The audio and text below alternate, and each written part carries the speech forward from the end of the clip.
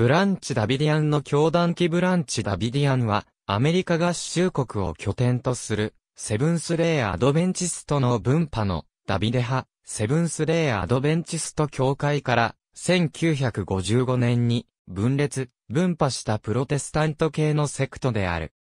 1930年にセブンスデーアドベンチスト、教会を破門されたブルガリア出身のビクター・ホーテフが、1934年に、ヨハネの目視録による、終末思想を思想体系とするセクト、ダビデ派、セブンスデーアドベンチスト教会を結成した。この一派は、ホーテフの著書にちなんで、羊飼いの杖とも呼ばれた。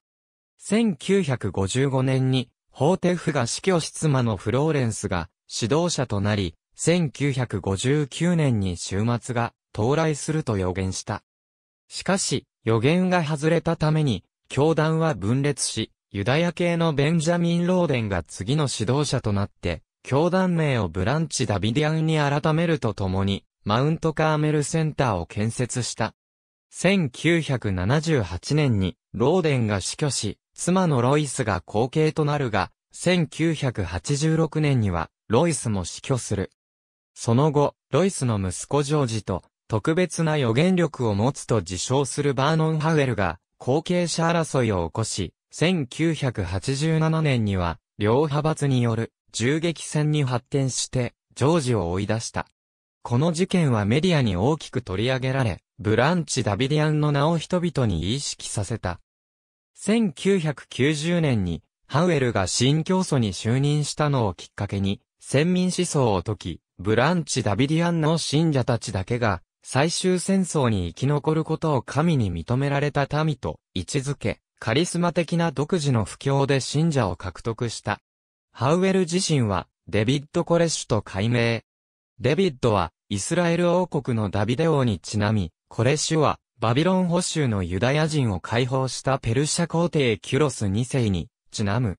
教団は最終戦争に向け武装化を強力に推進し、大量の銃器を不正に獲得、司法当局やマスメディアに注目されるに至る。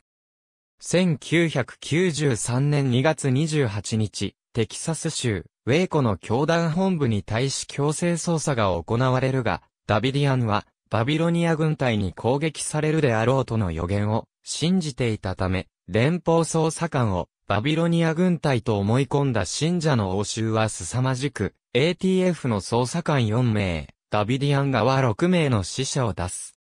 さらには ATF から捜査情報が事前に漏れていたため、テレビ局のカメラの前で銃撃戦の様子が放映され、世界中に衝撃を与えた。1993年4月19日、炎上するマウントカーメルセンター。FBI 撮影。この後、捜査は FBI が引き継ぎ、全米国民が見守る中、51日間の膠着が続いた。ダビディアン側は、武器弾薬に加え、1年分以上の食料を備蓄し、籠城した。同年4月19日、司法長官、ジャネット・リノは強行突入を決行。FBI や ATF は、軍から借り受けた十数両に及ぶ戦車や、装甲車で武装した M728 戦闘工兵車4から5両、M1A1 エイブラムス主力戦車2両、M88 装甲回収車1両、武装ヘリコプター、催涙弾などで突入した。ところが、信者は意に反し投降しなかった。その後、突然建物から出火、教団本部は炎に包まれ、ほとんどの信者は焼死した。これ種を含め81名の死者を出し、うち子供が25名、生存者は9名であった。ブランチ・ダビディアン本部爆発炎上事件は、発生直後にはブランチ・ダビディアンを危険なカルト集団として非難する声が大多数だったが、時が経つにつれて、アメリカ南部では、南部特有のメンタリティから事件を悲劇として捉え、連邦政府を非難する声が増えていった。1995年には、北テキサス憲法民兵によってウェイコに信者を悼む記念碑が建てられている。本部を失ったものの、教団自体は、現在も、ザ・ブランチ、ザ・ロード・アワー・ライチャスネスと解消して存続している。指導者は、ローデン夫妻の信奉者のチャールズ・ペースで、信徒は1200人とされる。FBI と銃撃戦の末、コレシュは80人の信者を道連れに自殺。信者のほとんどは焼死と見られるが、出火原因が問題になっている。装甲車がランタンやプロパンガスのボンベを破裂させた説や、可燃性の催涙ガスに FBI 側の重火が飛んで引火したという説も一時取り沙汰されたが、催涙ガスの発射から火災まで3時間以上かかっていることや、盗聴された教団の会話などから、現在は戦車を迎え撃つための放火説が有力である。FBI は一発も実弾は発射していないと主張していたが、当初 FBI が発火剤入りの催涙ガスは使用していないという虚偽の説明をしたことから、この主張も疑われた。